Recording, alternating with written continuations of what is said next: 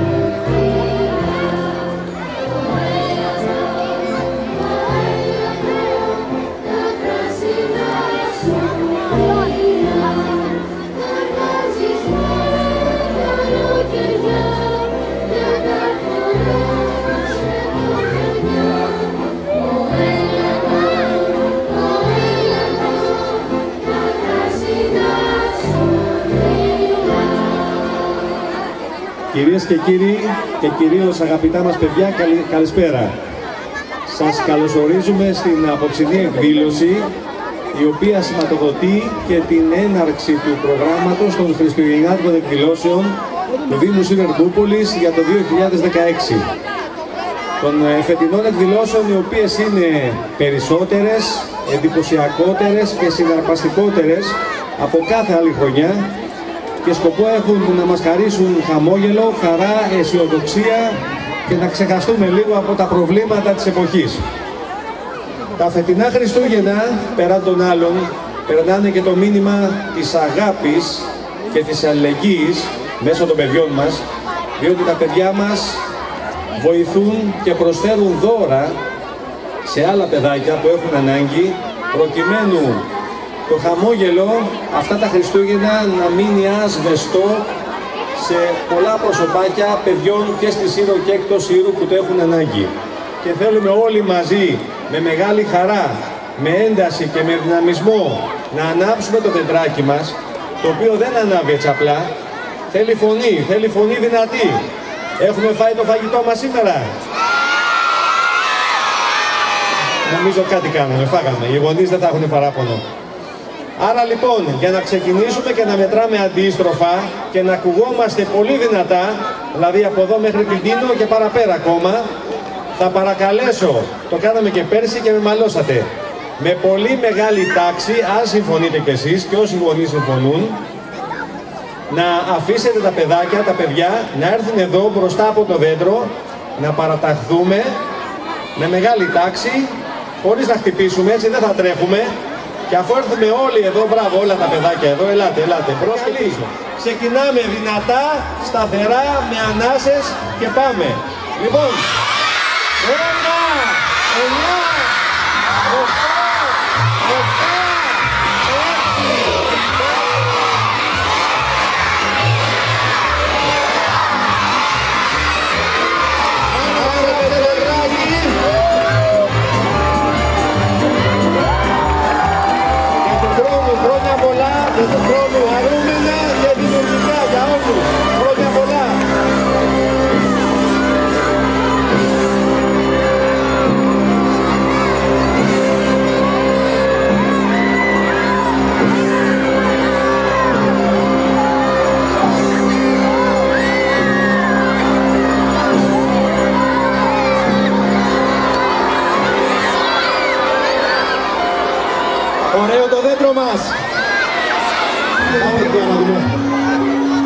τα πλάσματα που περνάμε. ε;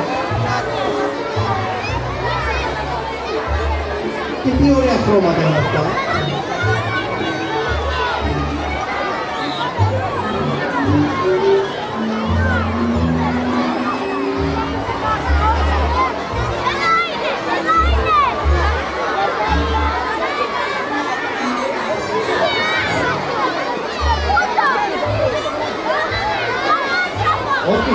Πολύ ωραίο πολύ προβοκαστικό.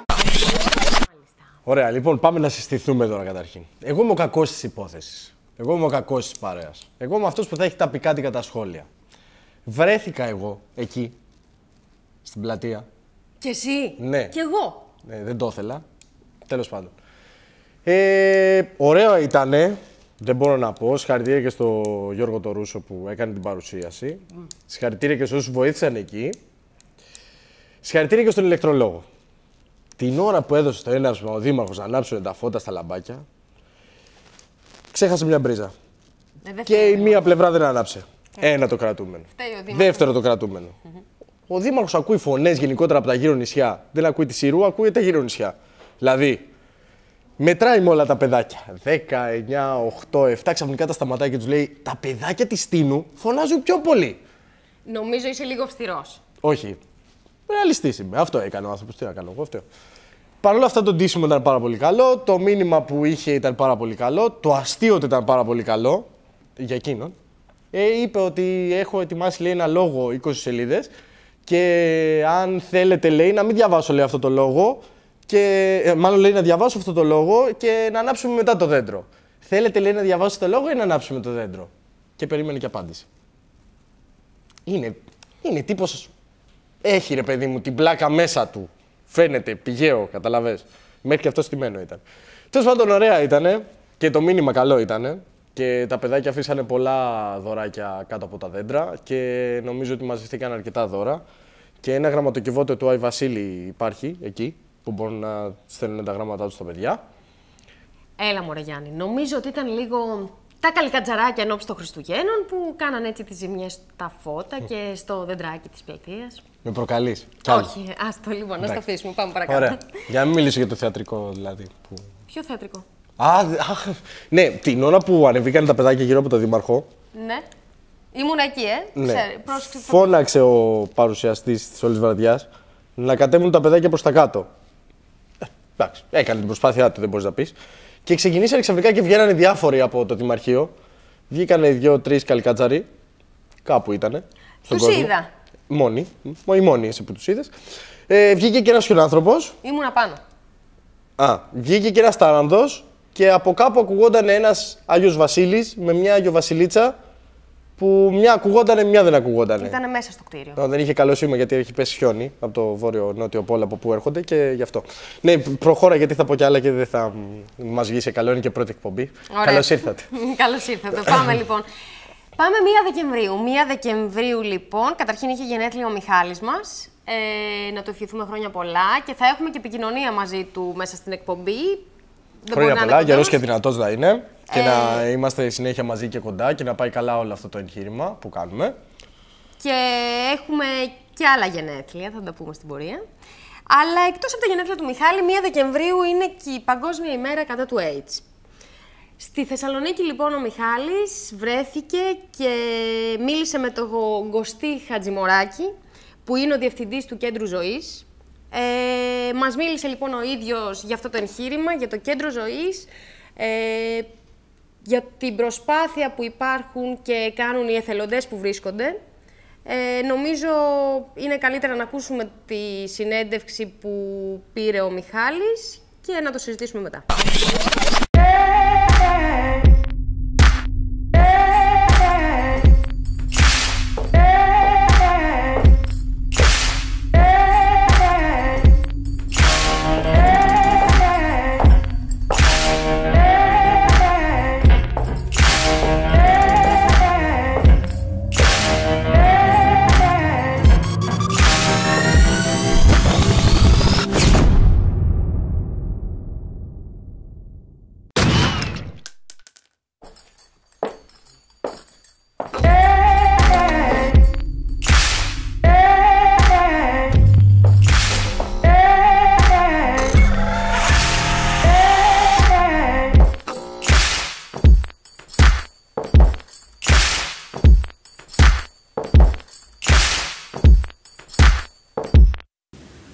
Τι είναι το Κέντρο Ζωής και πώς δημιουργήθηκε. Το Κέντρο Ζωής είναι μια μη κυβερνητική οργάνωση η οποία ε, γεννήθηκε το 1991. Ο ιδρυτής μας είναι Αμερικανός, είναι ο κύριος Φρανκ Όλκβαρη, όπου την περίοδο που ξεκίνησε το Κέντρο Ζωής ε, ο περισσότερος κόσμος δεν ήξερε τι σημαίνει AIDS. Και γιατί χρησιμοποιούμε τη λέξη AIDS και όχι HIV, γιατί το 1991 δεν ήξερε ακόμα ούτε και η ιατρική επιστήμη τη διαφορά του HIV με το AIDS. Η διαφορά ποια είναι; Το AIDS είναι η ασθένεια, ενώ το, ο HIV είναι ο ιός. Αν ένας άνθρωπος παίρνει τα φάρμακά του και έχει την απαραίτητη ιατρική παρακολούθηση που πρέπει να έχει, ε, μπορεί να μην αναπτύξει AIDS ποτέ και να μπορεί, μπορεί να έχει μια ε, καθόλου φυσιολογική ζωή. Ε, το κέντρο ζωής δίνει τη δυνατότητα, υποστηρίζει ανθρώπους λοιπόν που ζουν με HIV-AIDS στην Ελλάδα, όχι μόνο όμως τους ανθρώπους που ζουν με HIV, αλλά τις οικογένειές τους και τους συντρόφους τους. Παρέχει δωρεάν μοναδικές υπηρεσίες, δηλαδή νομική, κοινωνική και ψυχολογική υπηρεσία. Εδώ βρισκόμαστε σε ένα χώρο που είναι το γραφείο της κοινωνικής υπηρεσίας. Η κυρία δίπλα μου είναι η κυρία Ελισάβετ Αντωνιάδου, η οποία είναι υπεύθυνη για την κοινωνική υπηρεσία εδώ στη Θεσσαλονίκη. Το κέντρο ημέρας, ένας χώρος ε, συνάντησης οροθετικών ανθρώπων, όπου κάθε Δευτέρα, Τετάρτη και Σάββατο ε, έρχονται εδώ άνθρωποι που ζουν με τον HIV, οικογένειες, σύντροφοι οροθετικών ατόμων ε, και έρχονται πιο κοντά, συζητάνε, επικοινωνούν κτλ. κτλ. Σερβίρεται και φαγητό και καθώς μία σειρά από πολύ εξειδικευμένα προγράμματα τα οποία ε, ε, πώς το λένε, τα οποία απευθύνονται σε ειδικές κατηγορίες. Και τι είναι οι ειδικές κατηγορίες, ενώ ότι υπάρχει πρόγραμμα ενδυνάμωσης οροθετικών γυναικών, πρόγραμμα παρεμβάσεων στις φυλακές, πρόγραμμα στήριξης ομοτήμων. Δεν είναι δηλαδή, αν θέλει, μια διαφορετική, κατε... όχι διαφορετική κατεύθυνση, είναι οι γυναίκες προσεγγίζονται πολύ διαφορετικά ας πούμε, από τους άντρες. Και επίσης αυτό που θα ήθελα να τονίσουμε είναι ότι το κέντρο ζωής δεν ε, διαφοροποιεί, δεν διαχωρίζει από κανέναν και δεν αρνείται σε κανέναν υπηρεσία. Ε, ο κόσμος όταν έρχεται, οι οροθετικοί, και συνήθως οι οροθετικοί οι οποίοι το μαθαίνουν τώρα, ποια είναι η αντίδρασή τους; Είναι σε ένα πανικό. Οι άνθρωποι φοβούνται, ντρέπονται, ε, προσπαθούν να έρθουν εδώ με μία ενοχή για το τι... Μάλλον ε, ε, βρίσκονται, φτάνουν στην πόρτα του κέντρου ζωής με μία ενοχή αισθάνονται ότι κάποιος θα τους λογοκρίνει, αισθάνονται ότι κάποιος θα τους αξιολογήσει, ωστόσο τα πράγματα αλλάζουν.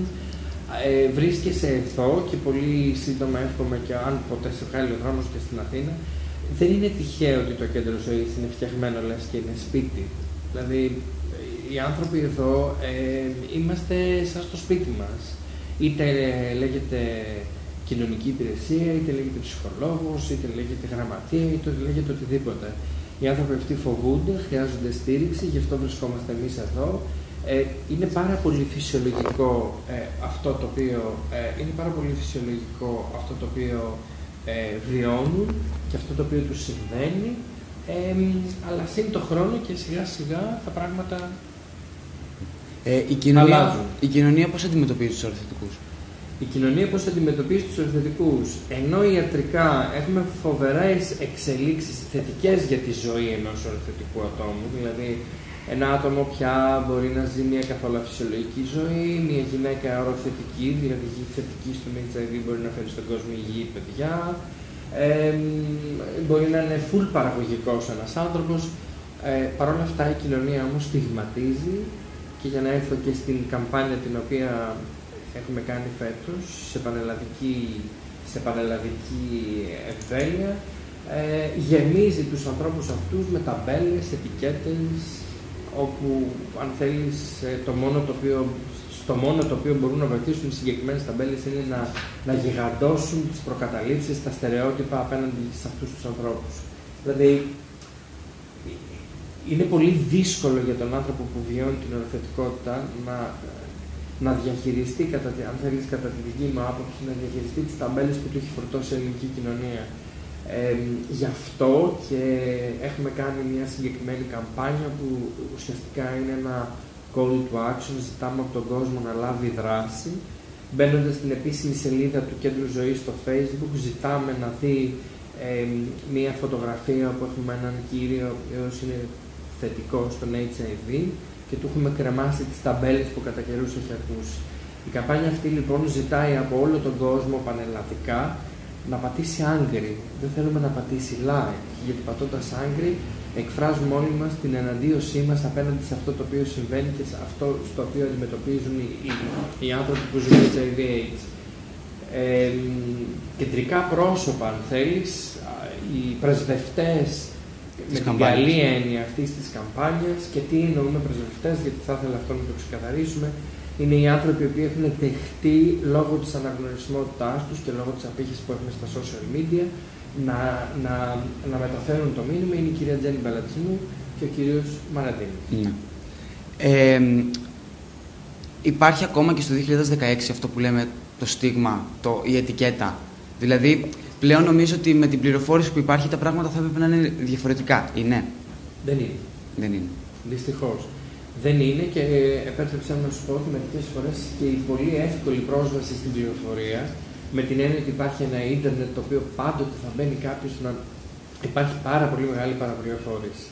Ε, δυστυχώς ο κόσμος δεν, δεν γνωρίζει ακόμα και τώρα το πόσο θετικές εξελίξεις έχουμε κάνει. Έχουμε κάνει ως, ως ιατρική κοινότητα, έτσι, και φοβάται. Φοβάται αυτό που δεν ξέρει. Πάγια θέση του κέντρου ζωής και σε απέναντι, οροθε- σε, απέναντι σε οροθετικά άτομα, αλλά και σε ανθρώπους που δεν είναι οροθετικοί. Η πάγια θέση του κέντρου ζωής είναι ότι το κέντρο ζωής στηρίζει και τους ανθρώπους που δεν γνωρίζουν. Δηλαδή, είμαστε εδώ, η συνάδελφος, ας πούμε, η κυρία Αντωνιάδου έχει πάρα πολλές φορές διαχειριστεί περιπτώσεις που μπορεί να έχει έρθει ένας σύντροφος ή μια μητέρα ενός οροθετικού ατόμου που να χρειαστεί να το βοηθήσει, να τον ενημερώσει, γιατί ο άνθρωπος αυτός απλά φοβάται κάτι το οποίο δεν ξέρει. Όταν μαθαίνει όμως το τι ακριβώς είναι αυτό το πράγμα, εξοικειώνεται και σταματάει να, να το φοβάται και να το θεωρεί έναν κακό δράκο. Ε, ο κόσμος πεθαίνει από AIDS. Σε αυτή Γιατί την- υπάρχει αυτή η αντίληψη συνήθως ότι πεθαίνουν από αυτό. Από AIDS πεθαίνει κάποιος. Η σωστή ερώτηση, αυτό το που με έχεις, ε, με έχεις ρωτήσει, είναι ότι είναι εύκολο κάποιος να αποκτήσει AIDS. Καταρχήν να διευκρινίσουμε κάτι. Ότι για να κολλήσει κάποιος, δεν μπορεί να κολλήσει κάποιος AIDS. Και τι εννοώ, μην δημιουργήσουμε πρόβλημα. AIDS είναι η ασθένεια, δεν κολλάς μία ασθένεια. Για να κολλήσεις μία ασθένεια, Για να μπορείς να λες ότι έχεις μια ασθένεια, πρέπει να έχεις έναν ιό. Άρα λοιπόν κάποιος θα πρέπει να κολλήσει το AIDS, το HIV, συγγνώμη. Για να ε, κολλήσει κάποιος HIV θα πρέπει να κάνει απροφύλακτη σεξουαλική επαφή, χρήση ενδοφλέβων ναρκωτικών, κάθε τη μετάδοση από τη μητέρα στο παιδί με θυλασμό και με μετάγγιση αίματος. Ο θυλασμός από οροθετικέ μητέρε σε παιδιά έχει απογορευτεί, δεν επιτρέπεται και πλέον τα αίματα στην Ελλάδα στα νοσοκομεία τσεκάρονται πάρα πολύ καλά. Ναι, μπορεί κάποιος να πεθάνει από AIDS αν δεν κάνει αυτά που ο γιατρός του ορίζει και λέει. Δηλαδή, αν δεν παίρνει τα φάρμακά του, αν δεν είναι συνεπής στα ραντεβού του, αν για τον οποιοδήποτε λόγο δεν συμπεριφέρεται έτσι όπως πρέπει να συμπεριφερθεί ιατρικά σε αυτό το οποίο του συμβαίνει, ναι, μπορεί να αναπτύξει έτσι και να πεθάνει. Όμως είναι δύσκολο. Γι' αυτό λέμε ότι υπάρχουν και φάρμακα όπου κάποιος άνθρωπος δεν πεθαίνει πια από αυτό. Ε, ε, η πολιτεία πόσο βοηθάει αυτούς τους ανθρώπους, είτε, έχοντας, είτε αν έχει να κάνει με τα φάρμακα, είτε αν έχει να κάνει με το οτιδήποτε.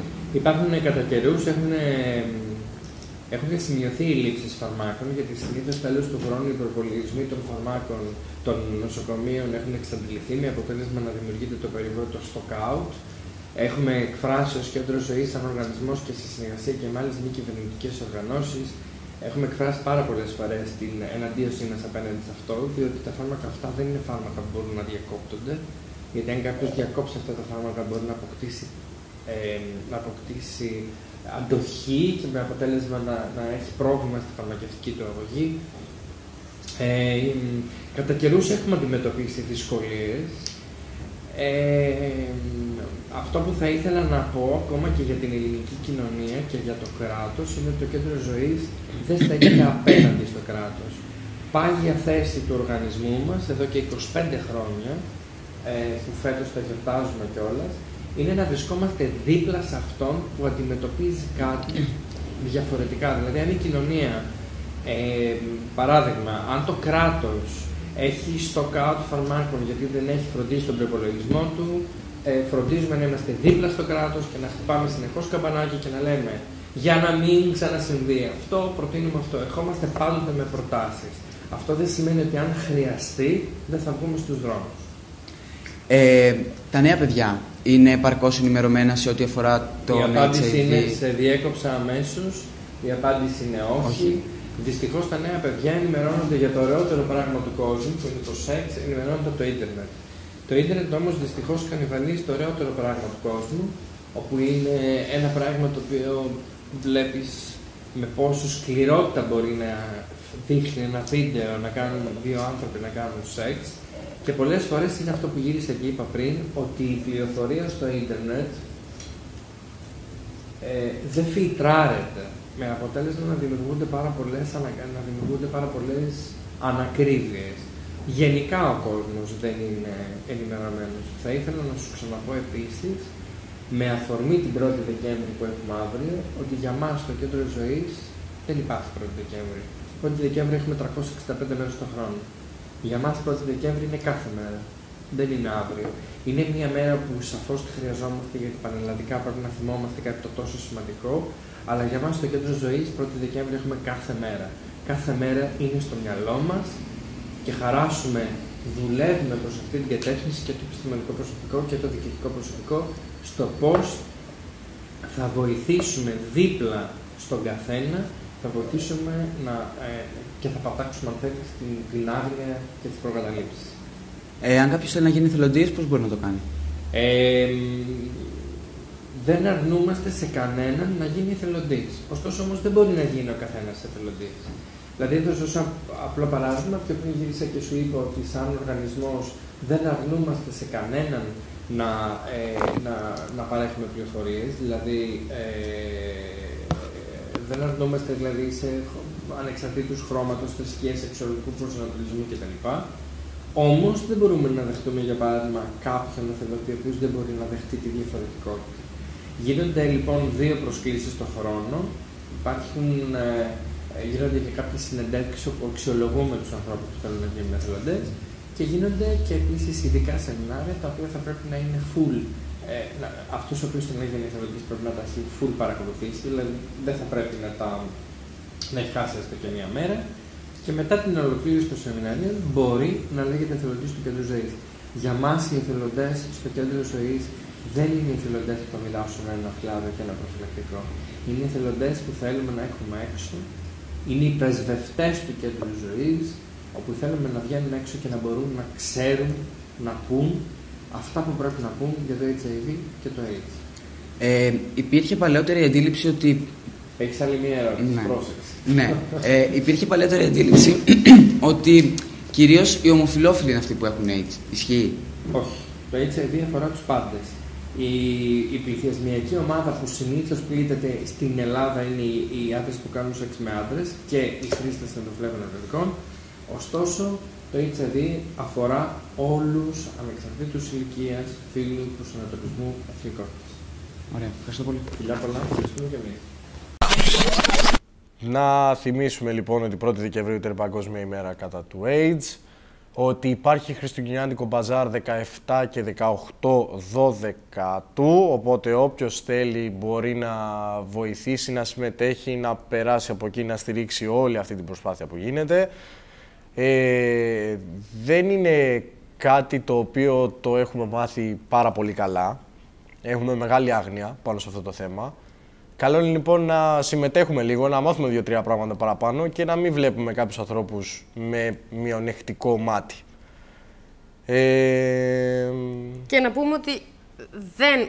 Το, φυσικά το γνωρίζουμε, αλλά επειδή είναι πολύ παρεξηγημένο και υπάρχει το στίγμα αυτών των ανθρώπων ότι ο ιός, δεν, ο ιός του AIDS δεν κολλάς έτσι απλά. Δεν κολλάς, δεν σημαίνει ότι ένας άνθρωπος ο οποίος έχει AIDS δεν μπορείς να τον πλησιάσεις, δεν μπορείς να πιεις από το ποτήρι του και απλά θέλει μία... και δεν είναι άνθρωποι οι οποίοι είναι τοξικομανείς, οι οποίοι δεν είναι μόνο αυτοί οι άνθρωποι. Υπάρχουν ε, και άνθρωποι που είναι ανάμεσά μας και απλά χρειάζονται τη συμπαράσταση και την προσπάθεια να τους καταλάβουμε όλοι μας. Ακριβώς. Σοφία, άκουσα ότι πήγες σε ένα μαγαζί το οποίο φτιάχνει αρώματα και έχει και αντρικά και έχει και την αγαπημένη μου κολόνια. Δικιά μου αγαπημένη είναι αυτή. Α, δικιά σου αγαπημένη. Ναι, απλά τη φοράς. Α, ωραία. Για πες, τι... Για την κολόνια που φοράς; Όχι, για το μαγαζί που πήγες. Ε, δεν έχω να πω πολλά. Νομίζω είναι ενδιαφέρον το ρεπορτάζ που πήραμε από το αρωματοπολείο. Πάμε να το δούμε και επιστρέφουμε. Ωραία, έχουμε λοιπόν τη χαρά και είμαστε στο κατάστημα Beauty Queen, ε, στο κατάστημα της, Ελένη, Κου- της Ελένης Κουτσοφιού, ε, να μας μιλήσει για τα αρώματα, τα γαλλικά αρώματα που έχει, που είναι απομιμήσεις, ε, και τις ε, κρέμες οι οποίες έχουμε, αλλά νομίζω να μας μιλήσει η ίδια καλύτερα για αυτή, για όλα αυτά. Ναι, ναι. Ε, λοιπόν, έχουμε γαλλικά αρώματα γυναικεία, αντρικά, ναι. Τα οποία το essence έρχεται από Γαλλία. πολύ ωραία. Το φτιάχνουμε εδώ μπροστά σας κατευθείαν. Το οποίο είναι ακριβώς ίδιο με το επώνυμο και κρατάει. Πάρα πολύ Και σε ωραία. χαμηλή τιμή. Γιατί τώρα με την κρίση Σημαντικό. δεν έχουμε να δίνουμε τόσα λεφτά, έτσι. Πολύ σημαντικό. Λοιπόν, να Εδώ σου είμαστε- βάλω κάτι να δοκιμάσεις. Βέβαια, Λοιπόν, ναι, αμέ. Να σου βάλω, δοκιμάσαι λίγο τη λαβή Μπέλ. Ωραία. Μία Α, δεν το τρίβουμε; Όχι. Α, δεν το ήξερα, πάντα το τρίβα. Γιατί με την τριβή προκαλεί θερμότητα, οπότε το βγάζει διαφορετικά. Πρέπει Ωραία. να κάτσεις το άρωμα, κατάλαβες; Ισχύει αυτό που έχω ακούσει ότι μέχρι τρεις οσμέ πιάνει το άρωμα. Μέχρι τρεις φορές, άμα δοκιμάσεις, Ναι, ε, μπορείς να πιάσεις τη μυρωδιά. Μετά τη χάνεις. ναι. Γιατί ο εγκέφαλος συνηθίζει, οπότε δεν το μυρίζεις πλέον. Εσύ το, το μυρίζει ο άλλος.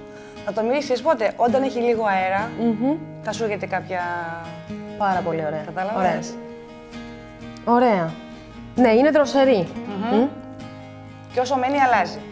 Ναι, το οποίο δεν βλέπω. είναι έτοιμη τώρα, έτσι. Είναι μόνο η κολόνια. Όταν φτιαχτεί, μπαίνει και το λάδι, το εσάν του αρώματος. Οπότε ενισχύει κατά περισσότερο. Α, μάλιστα. Μυστικά λοιπόν που δεν γνωρίζουμε.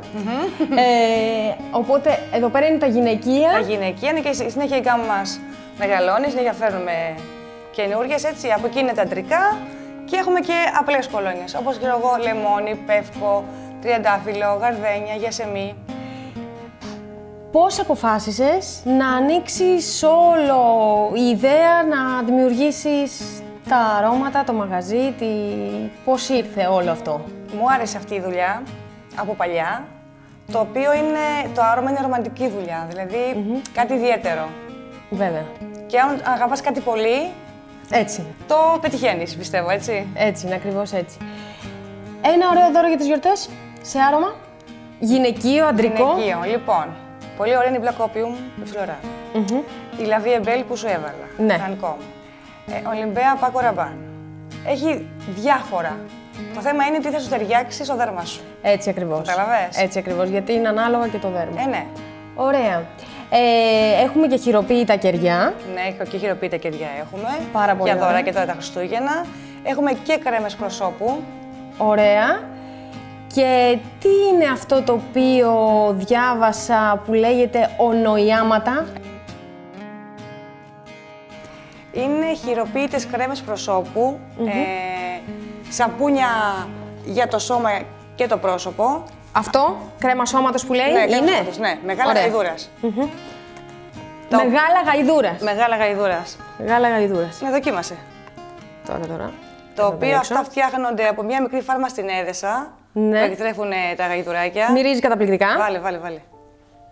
Μυρίζει καταπληκτικά, Ναι. δεν το συζητάμε.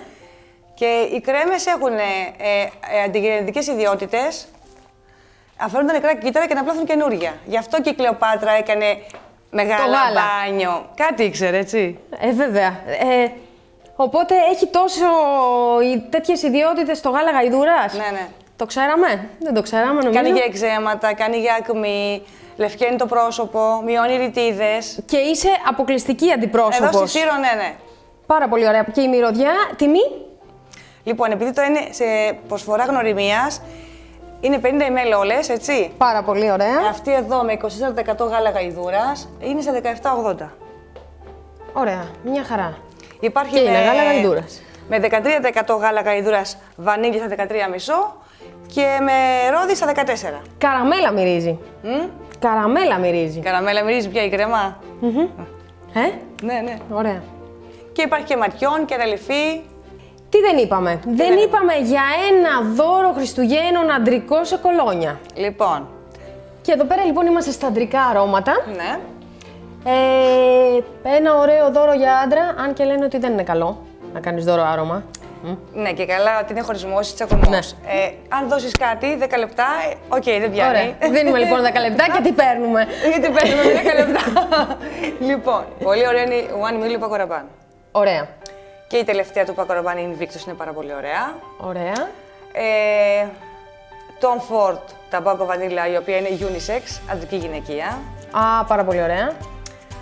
Δηλαδή είναι πάρα πολλές τι να σου, προ... να σου προτείνω να διαλέξεις. Εμένα η αγαπημένη μου είναι η Bulgari, η Black, η κλασική. Ναι, και αυτή πάρα πολύ ωραία είναι. Είναι, είναι, έχει σ- πικάντικα στοιχεία. Μπράβο, ναι, ναι, σωστή, σωστή. Ωραία, μπαχαρικά. Μπαχαρικά, έτσι. Εντάξει, έτσι. είχα κάνει κάτι σεμινάρια αρώματος παλιά. Αχα, Γι' αυτό. οπότε ξέρεις. Εντάξει.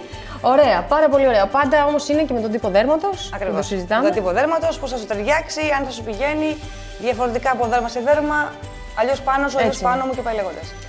Ωραία. Να πούμε ότι υπάρχουν και κάτι άλλα προϊόντα που δεν σου έδειξα. Είναι βιολικά κι αυτά. Είναι φυλλό, τα οποία έχει σαπουνάκια με μελισσόχορτο, χαμομήλι, μέλι και γάλα κατσίκας. Και γάλα κατσίκας. Και γάλα κατσίκας. Εκτός από γαϊδούρας έχουμε και Τι γάλα μαθαίνουμε; κατσίκας. Ε, και υπάρχει και αφρόλουτρο και σαμπουάν.